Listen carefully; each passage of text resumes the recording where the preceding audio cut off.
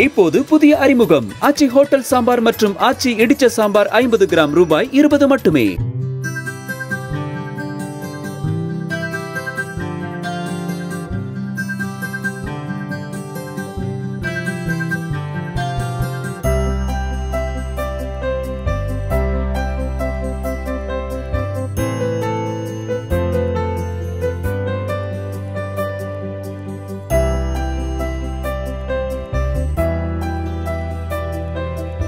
சேலம் மாவட்டம் ஏற்காட்டில் கடந்த பத்து நாட்களுக்கு மேலாக தொடர்ந்து சாரல் மழை பெய்து வருவதால் குளிர் அதிகமாக உள்ள நிலையில் டவுன் படகு இல்லம் மஞ்சக்குட்டை நாகலூர் உள்ளிட்ட பல பகுதிகளில் கடும் பனிமூட்டம் நிலவியது.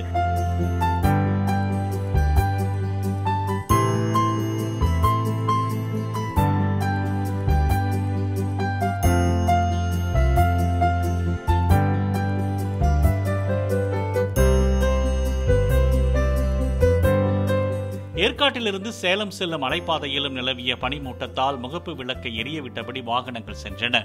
பனிமூட்டத்தால் காப்பி விவசாயமும் மக்களின் இயல்பு வாழ்க்கையும் பாதிக்கப்பட்டுள்ளதாக கூறப்படுகிறது.